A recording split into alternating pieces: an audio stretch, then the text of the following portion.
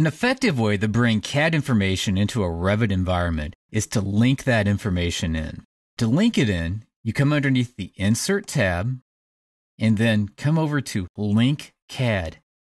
The nice thing about linking CAD information in is that when we do link it in, it won't actually be part of the project. It'll still be inside of this DWG file that we're getting ready to pick. In this case, the 1902 linked CAD files project. Click on Open. And it's just displaying that information from that DWG file. If the information should change in the DWG file, then it will update itself inside of this file, our Revit project. Another nice thing about linking this information in is the fact that now that it's here and it's in place, we can start to draw over the top of it and begin to recreate our building from scratch. By the way, this also applies with such things as architectural details, where you can use tools such as the Select Line tool to quickly trace over and redraw your different detail views. I'm going to open up the south elevation view. I want to copy this level up a few times so that we get proper elevations for each of these walls that we're getting ready to draw. So select on the levels, come up here to the copy command, which looks like a series of little circles. Make sure that multiple is checkmarked. Now click where level one is at, come straight up and click again when you reach level two. Click again when you reach level three. Now, instead of clicking again when you reach level four, just move the mouse slightly up, and when it says three feet, click again because that's going to be the elevation of our level 5. Hit escape a couple times on the keyboard. We now have our levels in place for the different elevations that our walls that we're getting ready to draw in will go up to. Next, go back to your floor plan level, the level 1. We can see that this particular floor plan is still here. That's the original CAD drawing that's been linked in. But if you go to the Architecture tab and select Wall off of the list, we'll go to Properties.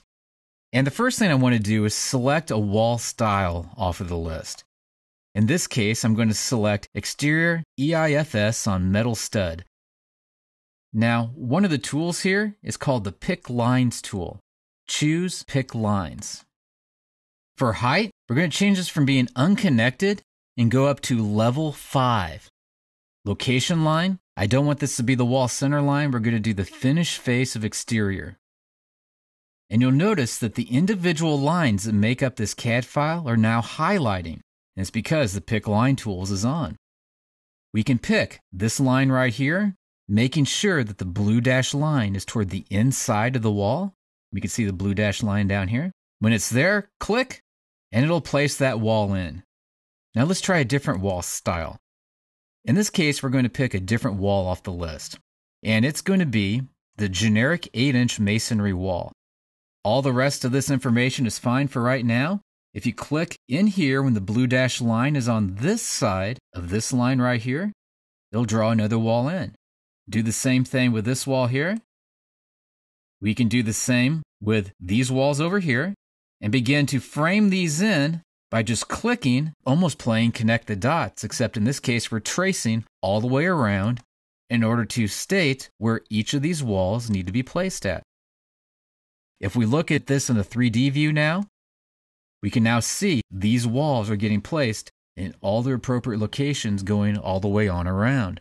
By using the insert command and then link Revit you can quickly trace around any of your floor plans and begin to recreate buildings that were created two dimensionally in CAD, three dimensionally in Revit. Also, the same process can work with your individual details. If you insert a detail into a drafting view, you can use the Pick Lines tool to begin the trace all the way around that detail to help you with the process of recreating your details inside of the Revit environment.